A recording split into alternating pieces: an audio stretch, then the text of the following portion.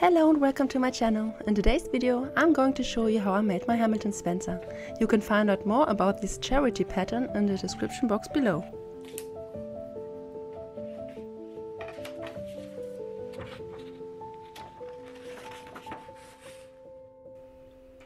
After taping the pattern sheet together, I made a mock-up.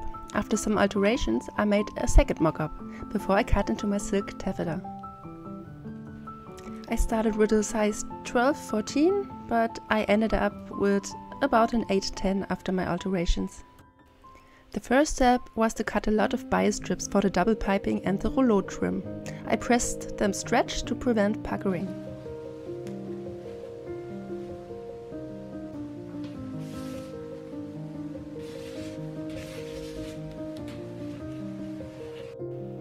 After that I prepared the cord for the piping. I needed two lengths of cord for one piping piece. I stitched the piping with a zipper foot and after that I sewed the second cord next to the first.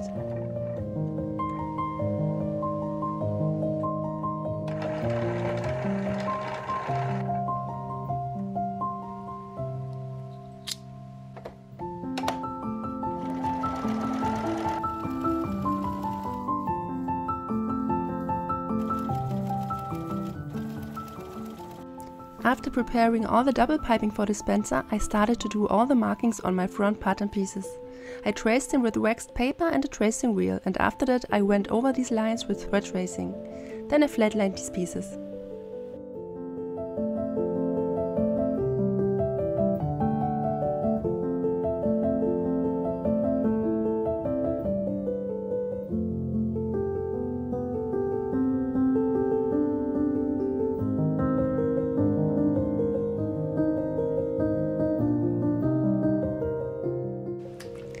Next came the preparation for the front decoration. I pricked tiny holes in the template piece like Bernadette Banner did in her video.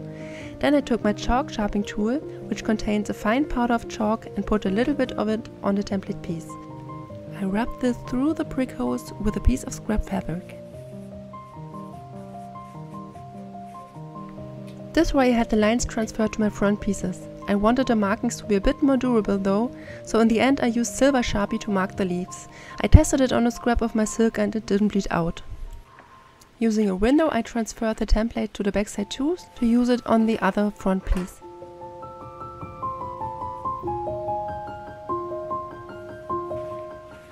I thought this was really pretty and silver on the green. After that it was time for some more bias cord adventures. This time I made the rouleau trim. I cut a piece of cord double the length of the bias strip to make these. Half of the cord needs to be inside of the bias, the other one has to be outside. After some fiddling with this, it finally turned itself inside out and I cut off the uncovered part of the cord. If you make the rouleau first, you could use the cut off ends for the piping, but I had already done that, so I saved them for another project. I did this for all the yardage I needed and ended up with a lot of these fabric spaghettis.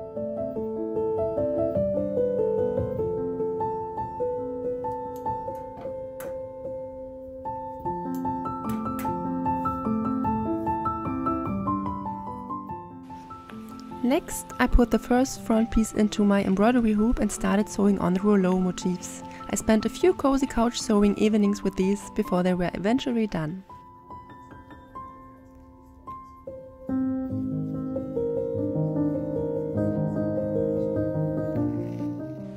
I made the little fabric pom-poms next because they're part of the front design. I made about 35 at first and needed 6 more later in the project so you can make about 40 of them at this point.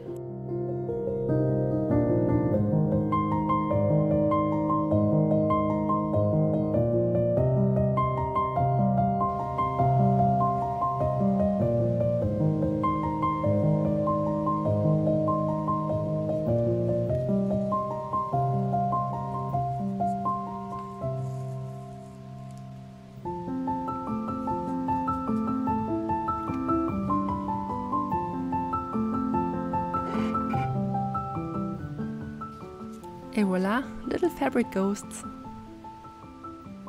After that I added them to the front pieces.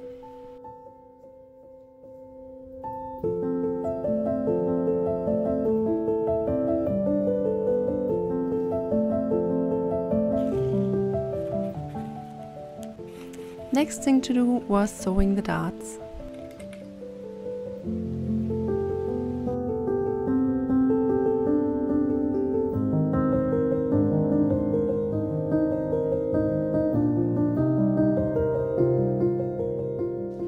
Cut the interfacing for the front piece from horsehair canvas because that's what I had in my stash. I flipped the piece because this only needs to extend to the interfacing line.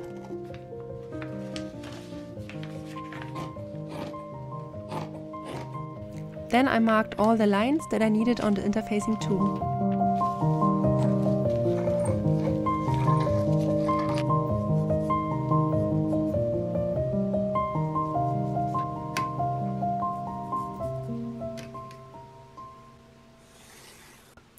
The roll line and the lapel edges are stabilized with some cotton tape.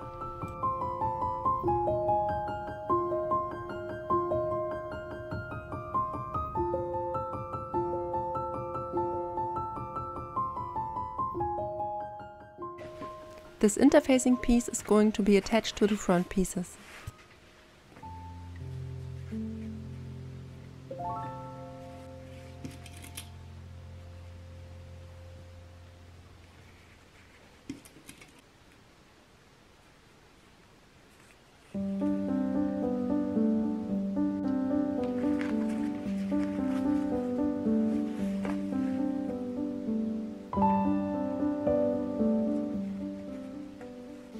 Make the lapel stand up, pad stitching is used, another task I could do in front of the TV.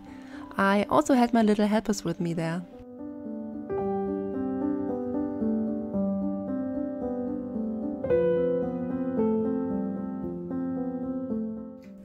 After stitching, the lapel was pressed over a seam roll.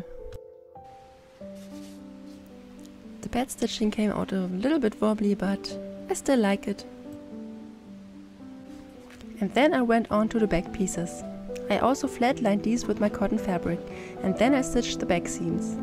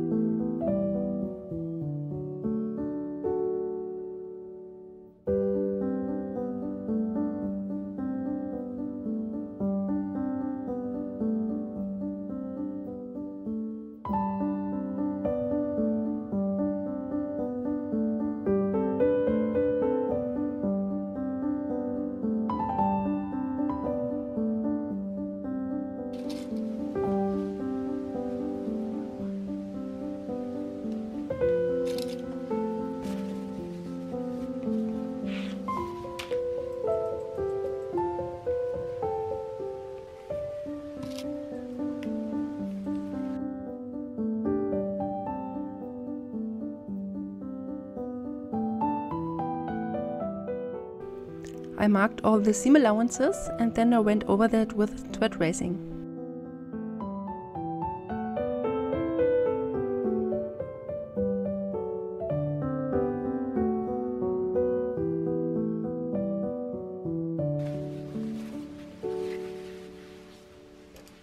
I also closed the side seams and the shoulder seams. The horsehair layer wasn't sewn into the shoulder seams, but basted over the seam.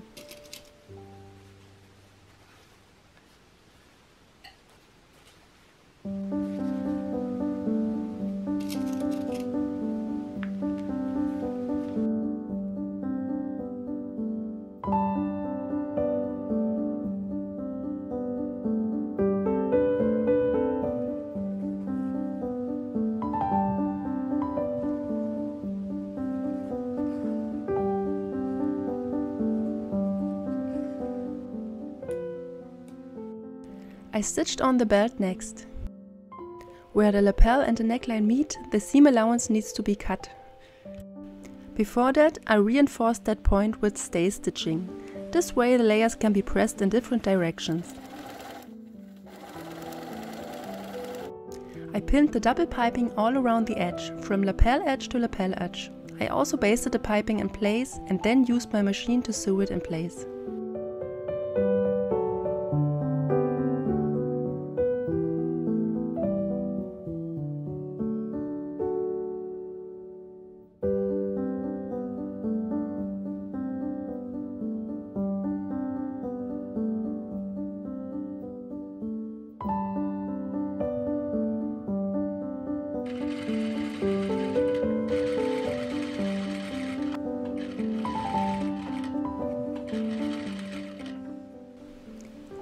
I prepared the collar. I used the horsehair canvas and stitched that to my flat lining fabric.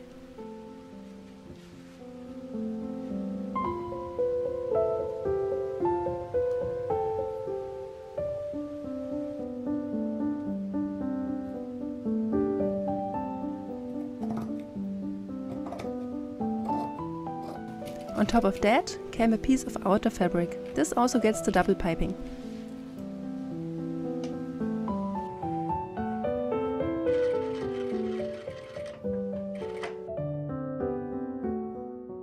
The collar was now ready to get stitched into the neckline.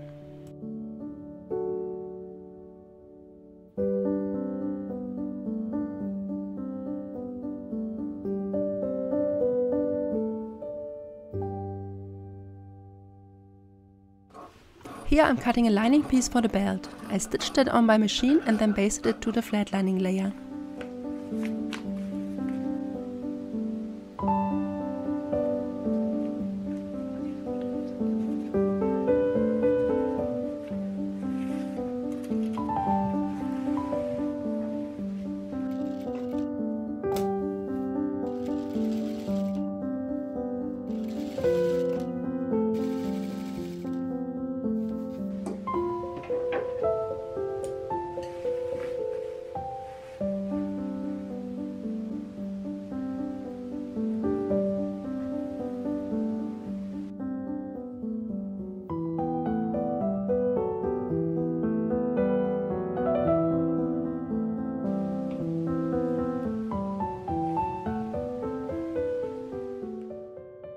Time for some mid-project appreciation.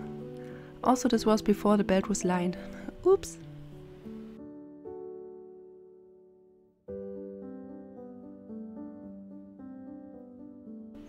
Onto the lining.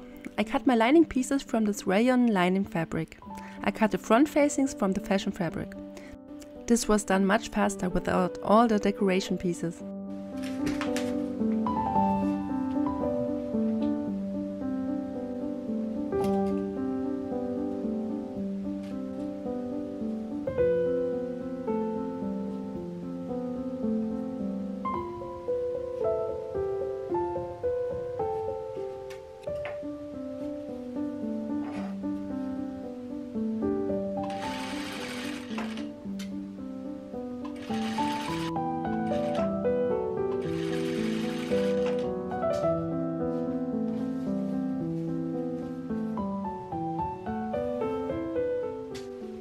Again I had to clip into the seam allowance.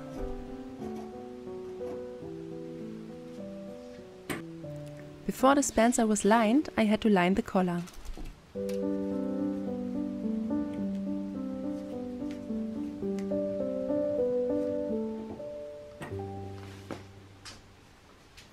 The lining was bagged out like the instruction calls it.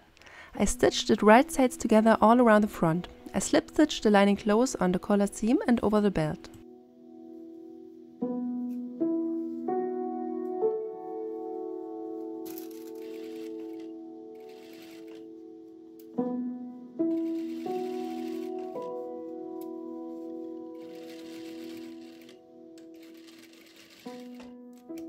I turned the right side out and gave it a good press.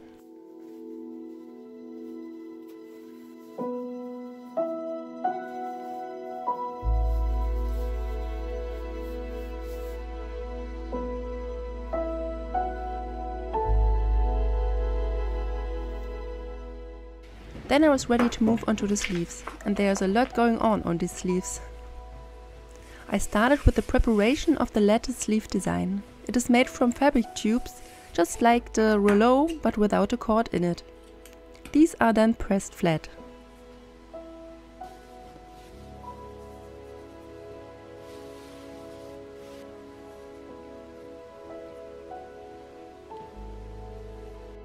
Of course the sleeve pieces got their flat lining done too.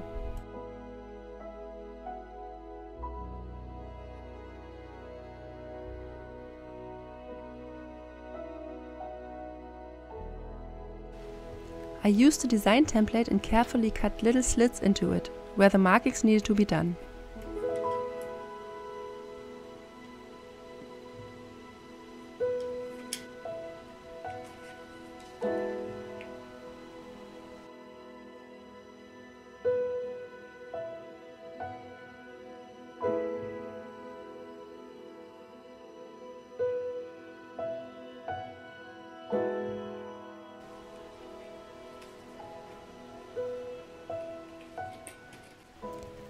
I then marked the outer edges and the little notches I previously cut.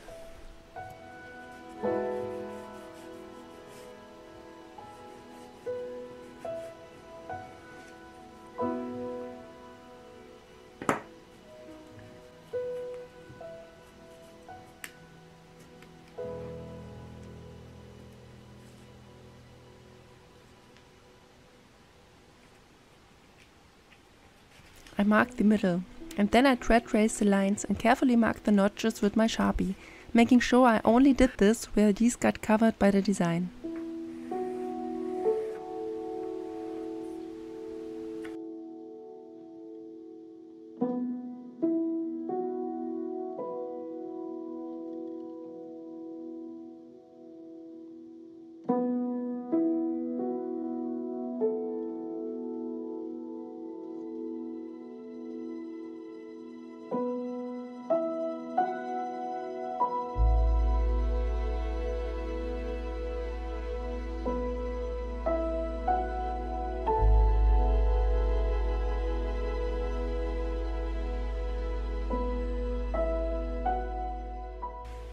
I think this took me longer to mark this thing than to actually sew it down. Then I pinned down the first fabric strip. One side of this is made from two lengths of strips overlapping each other. I really got confused by this and had to color code this on my instruction sheet.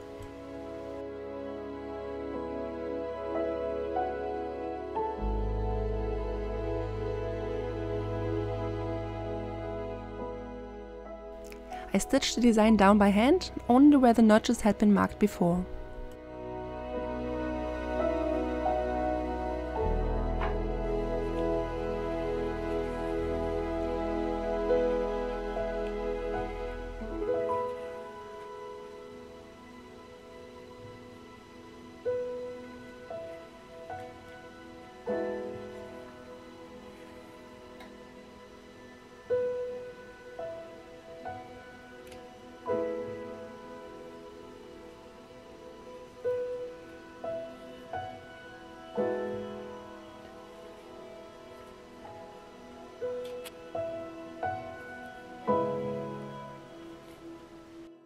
As I said, this thing confused me and so I had to make sure I did it right.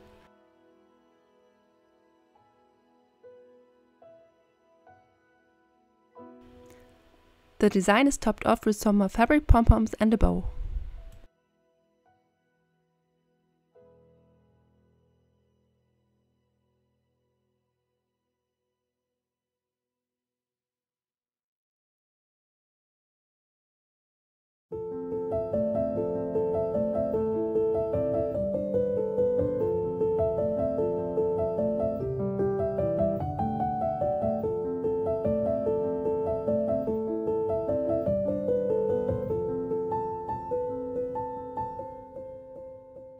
Sewing the sleeves was pretty straightforward after that.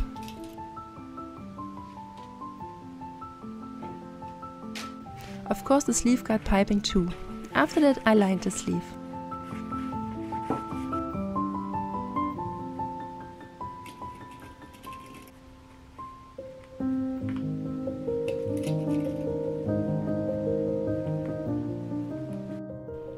Next on my list were the sleeve puffs.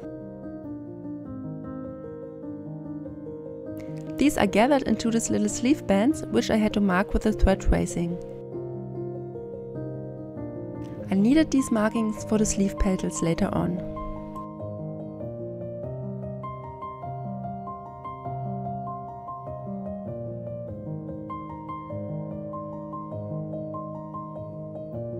And of course, a little more piping.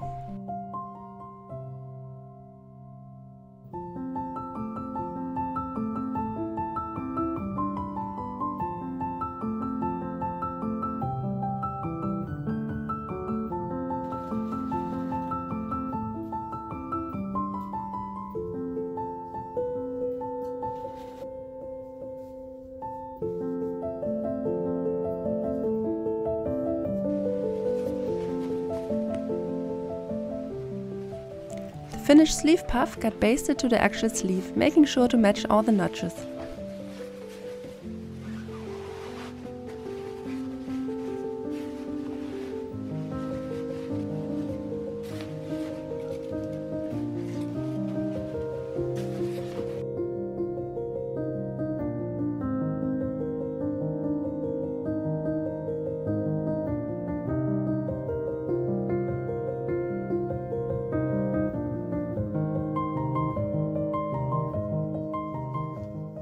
The whole thing was also gathered to fit into the armhole.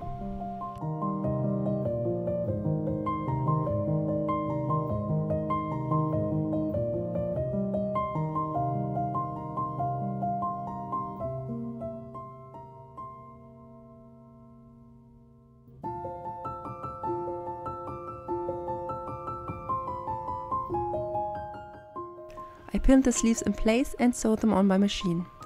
And there's a lot going on in that seam.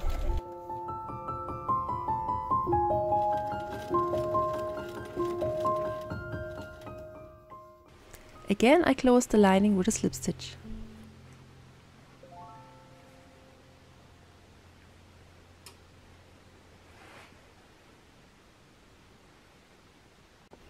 Before I could finish the Spencer, I needed more bias strips. These were also pressed stretched and here you can really see the difference.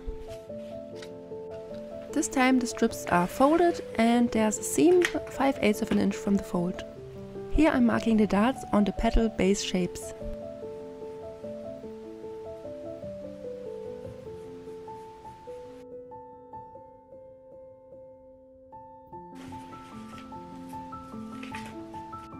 I also flatlined these petal bases. I stitched the darts with my machine and cut them open.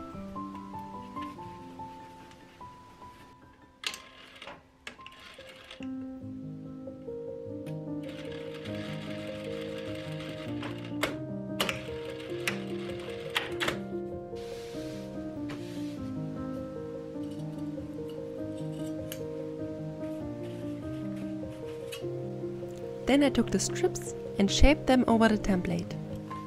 There are four layers on each petal piece.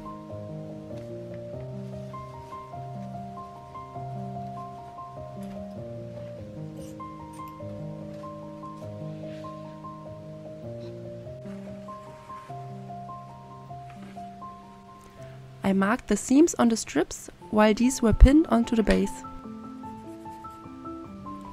A fellow costumer did a really helpful tutorial on these. I will link that down below.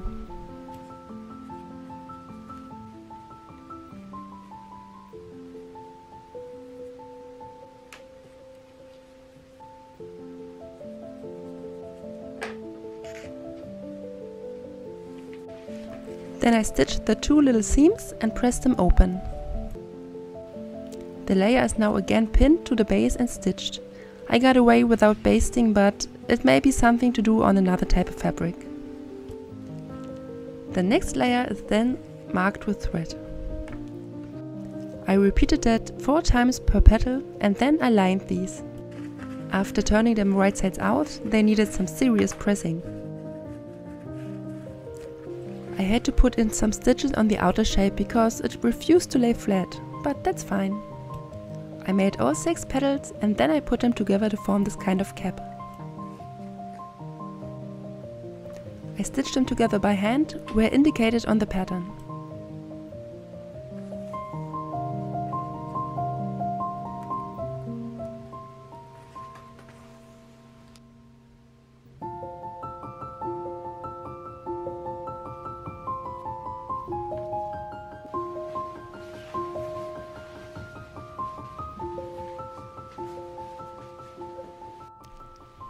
I was so close to be done.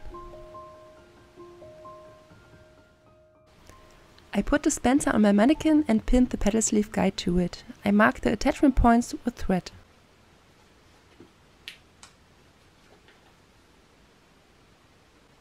Before I could finish the small, one and a half month long project, I had to attach the petals to the sleeve.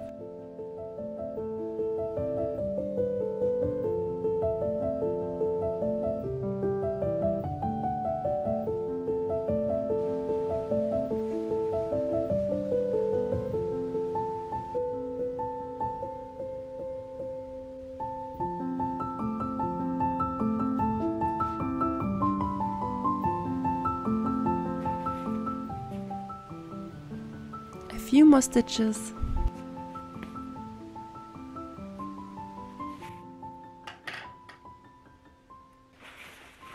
And then it was done. As I said, it took me over a month to complete, but it was so worth it.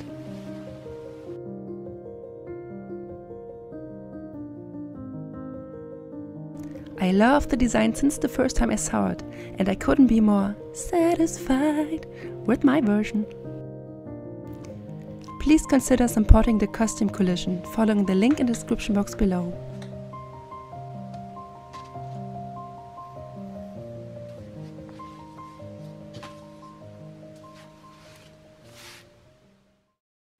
And here it is, my Hamilton inspired look.